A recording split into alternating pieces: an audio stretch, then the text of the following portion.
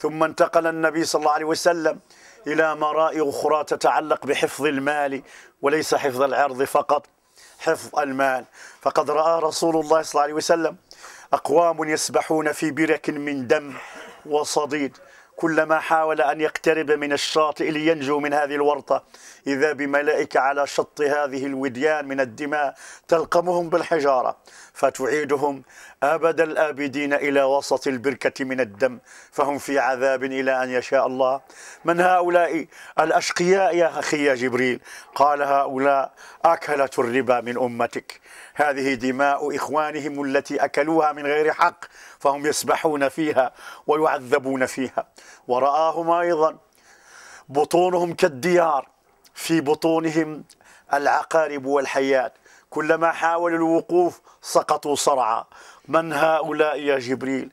فقرأ قوله تعالى إن الذين يأكلون الربا لا يقومون إلا كما يقوم الذي يتخبطه الشيطان من المس. ذلك بأنهم قالوا إنما البيع مثل الربا وأحل الله البيع وحرم الربا. هكذا هم أكلة الربا.